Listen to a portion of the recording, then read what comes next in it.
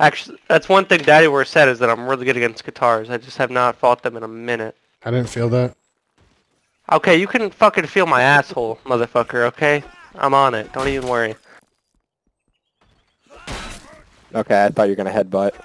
Dr. Bones is in here. He's What pretty... the fuck was that stab around, you asshole? Dude.